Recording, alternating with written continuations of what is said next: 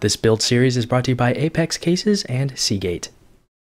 Hello everybody, it's Brian for GadgetUnit.com and part 8 of my video series about my PC build. I'll be giving you a tour of the BIOS for the Gigabyte GA-H77N-Wi-Fi motherboard and I'll also be showing you the Windows 8 installation, an EFI installation is that, at that. Now, I just showed you the system information screen that can be accessed by pressing F9 on the keyboard, and the blue screen of death that you saw was because my USB flash drive for my Windows 8 installation was actually missing a few files, so I had to redo that, and it didn't do that anymore, and you will see that once we get towards the later part of this video. So here we are going through the UEFI BIOS. So we are looking at some CPU overclocking settings, which I'm not sure if any of those will actually do anything because as far as I know, the Core i3 3225 cannot be overclocked in any way but you are able to modify your memory timings for your RAM. So if it supports XMP, you could go ahead and choose an automatic profile. Here we have our PC health information, so voltages, temperatures, fan speeds. Under miscellaneous settings, these are miscellaneous settings that I am not 100% sure what those do. Here we are at our basic system information area you get your BIOS version. This is the latest official BIOS, F2. I believe they have F3C, but that's considered to be a beta BIOS, which I will not go to.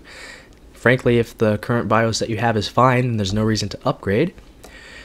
So the time and date was incorrect, so I went ahead and fixed those. Here we have our SATA information, so you can see that our Seagate Momentus XT hard drive, courtesy of Seagate, is detected just fine.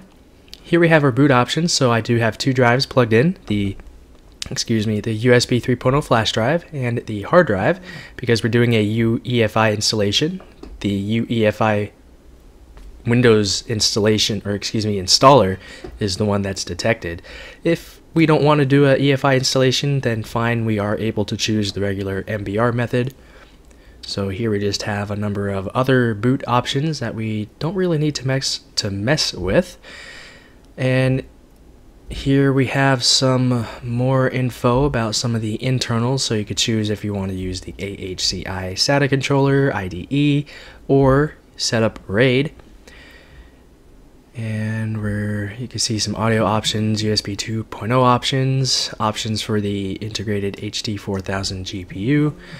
I left it on 64 megabytes because that's what we will have to do for the um, macOS 10.8 installation because to get the HD 4000 to get graphics acceleration, the memory setting in the BIOS has to be set to 64 megabytes.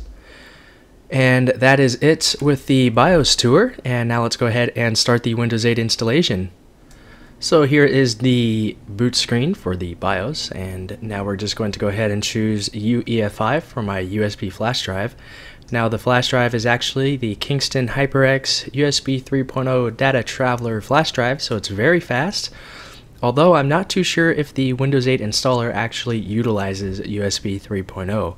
So regardless, an installation from a USB flash drive for uh, excuse me for Windows 8 typically takes about 10 minutes from when you get to the first screen of the installer to the desktop or Metro interface in this case.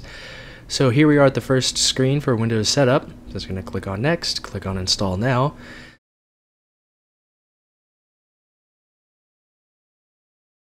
So right here I'm entering my for Windows 8, which I'm going to go ahead and skip.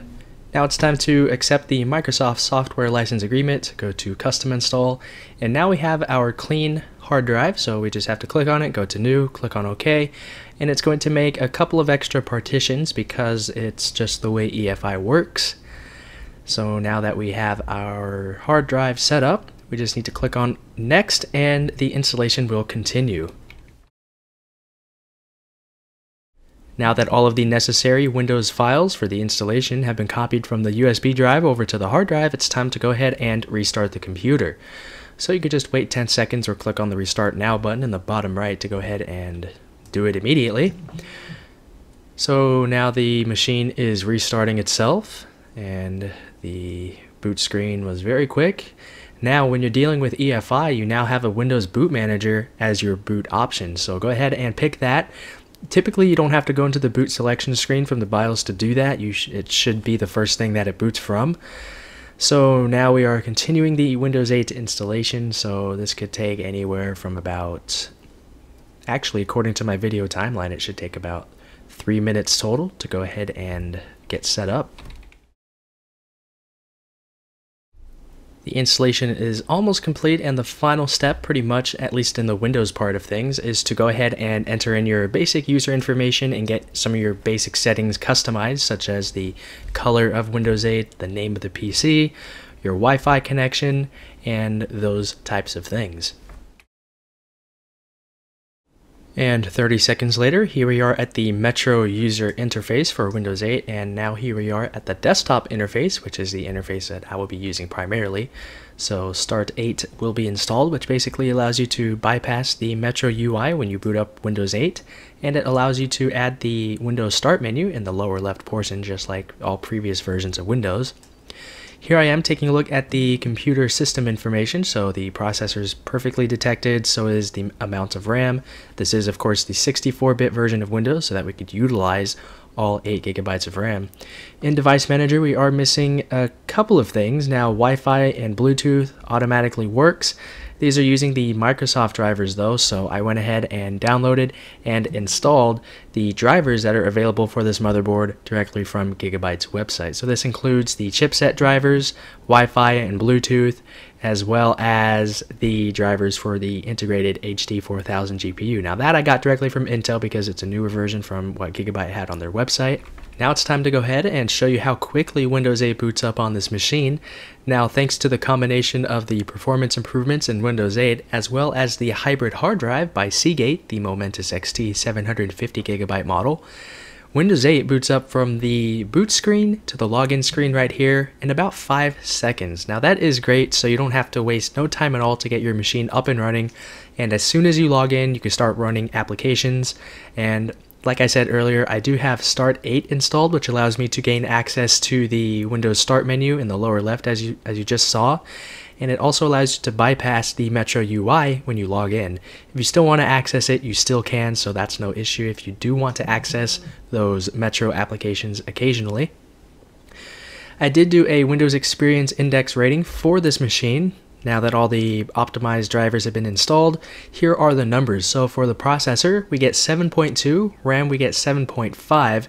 Graphics are probably the weakest point of this machine, but that's to be expected. It's a mini ITX build, it's not built for gaming, so this will be able to handle gaming as I mentioned in the first part of the series and the hard drive is 5.9. All mechanical hard drives, no matter how fast they spin, it will be 5.9. To get more than 5.9, you will have to buy a solid state drive. But overall, I've been very impressed with the performance of the machine. Everything opens quickly, and that's it with Windows, and now it's time to go ahead and mess with Mac OS 10.